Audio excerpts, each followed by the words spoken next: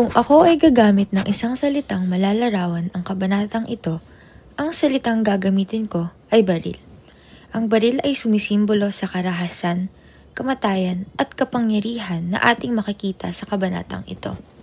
Kung paano naging marahas ang mga gwardya sibil sa mga magsasaka, kung paano namatay ang ilang karakter sa kabanatang ito, at kung paano abusuin ang kapangyarihan na meron ang mga gwardya sibil. Ating alamin ang mga tauhang mababanggit sa kabanatang ito. Una, si Matang Lawin o Kabesang Tales. Tila lawin sa talas ng mata kaya Matang Lawin ang naging bansag.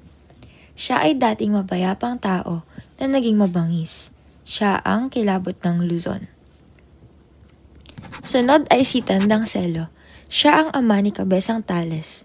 Lumitaw siya mula sa ibabaw ng isang bato na iwinawas-iwas ang hawak na baril na parang humuhudyat. Siya ay nabaril ng sarili niyang apo. Sumunod ay si Tano, ang anak ni Kabesang Tales na isa sa mga kawal at hindi sang-ayon sa pamamalo at kalupitan sa mga Pilipino. Huli naman ay si Mautang. Siya ay isa ring gwardya sibil na kasama ni Tano na nagpapahirap sa mga bihag na tulisan.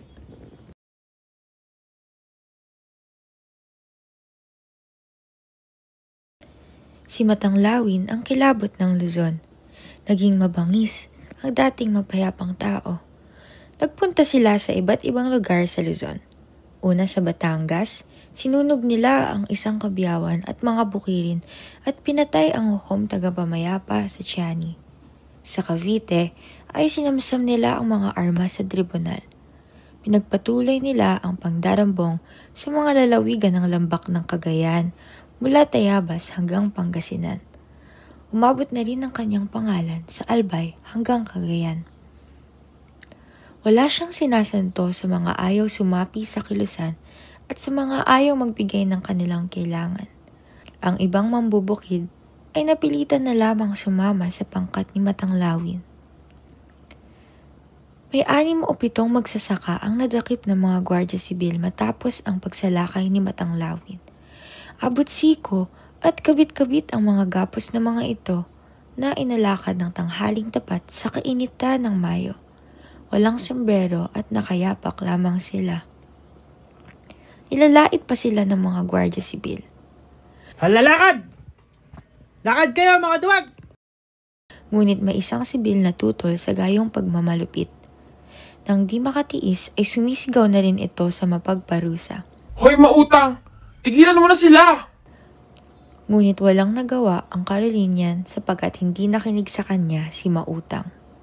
May isang bilanggo na nagmamakaawa na makapagpahinga ngunit hindi pinayagan. Ani niya, mas malupit ka pa sa Kastila.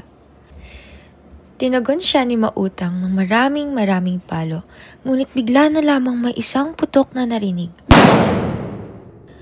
Gumulong-gulong si Mautang Nakita siya ng bilanggo na namimilipit sa alikabok at nilalabasan ng dugo sa bibig.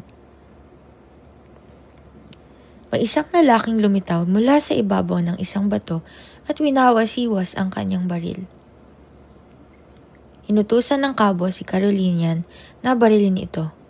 Pagkatapos nito ay napahinto ang Carolinian dahil parang namumukaan niya ang taong iyon. May isa pang lalaki na lumitaw sa ibabaw ng isang bato na sibat naman ang kanyang winawasiwas at binaril rin nila ito. Maya-maya ay makikita na namumutla ang Carolinian. Siya ay si Tano, ang anak ni Kabesang Tales, at ang kanyang nabaril ay si Tandang Selo, ang kanyang nuno.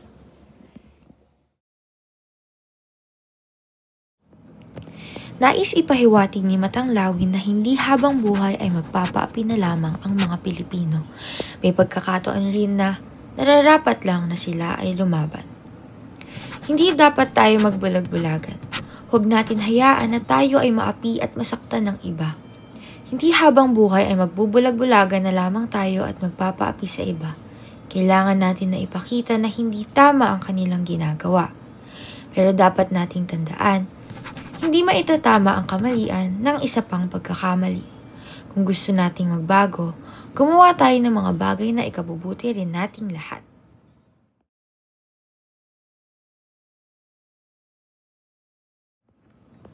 Masasalamin sa kabanatang ito ang police brutality, tulad ng hindi magandang pagtrato ng mga gwardiya sibil sa mga Pilipino. Tulad na lamang ni Kian de los Santos at Carl Arnaiz, dalawang binatang biktima ng hindi magandang pamamalakad ng kapulisan. Sila ay halos pareho lamang ng kwento o insidente. Si Kian de los Santos, isang labing pitong anyos na binatilyo binaril ng mga pulis sa Caloocan habang nagsasagawa ng kampanyang One Time Big Time laban sa droga. Binaril siyang nakaluhod tapos nasubsob sa isang madilim na eskinita. Si Carl Arnaiz naman ay isang labing siyam anyos na binatilyong napatay habang ang pulis ay tumutugon sa isang tawag mula sa isang driver ng taxi na sinasabing ninakawan daw ni Carl Arnaiz ito. Noon man o ngayon, hindi pa rin kailanman magiging tama ang paghihirap at pagpaslang sa kahit sino man, lalo na sa mga hindi naman nanlalaban.